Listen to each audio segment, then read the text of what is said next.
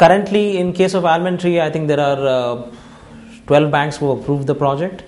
In Villa Valley, we've got approval from four banks right now, and uh, we've applied for our approvals. I think as and when the files come to the banks, they would uh, approve the property. Villa Valley and Almond Tree both are BBMP approved with Kaveri water sanction, and all the sanctions are in place basically. In case of Villa Valley, we are again looking at people for whom uh, it's just not investment; they are really looking at a home to move in because it's located in where in a place where social development has already happened, basically. And uh, again, uh, the owners of Almond Tree are company uh, company owners and um, uh, the top management of, of MNCs and Indian companies, basically.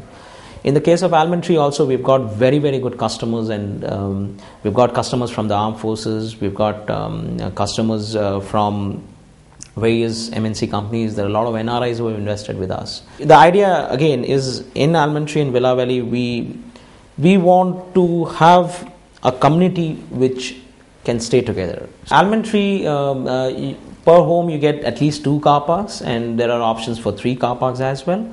The car parking cost uh, is uh, 4 lakhs for two car parks and 5 lakhs for three car parks.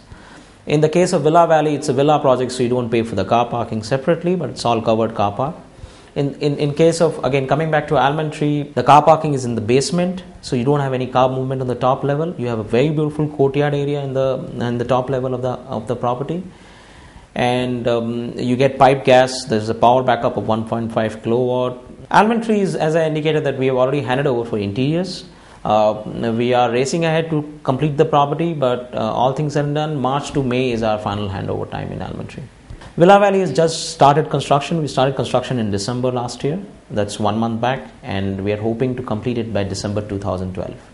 And the idea is that by January to March 2012, we'll be handing over the properties for interiors so that the customers can do the interiors. The clients do not have to wait for the property to be handed over. We give them prior handover. And uh, mind you, it's a, there's a lot of work which we need to do even post the interiors get over. It is a lot of planning, a lot of extra extra work which we need to take care if we hand over the property before handover for interiors. But then it ensures that six months at least the customer saves six months of time uh, which is post handover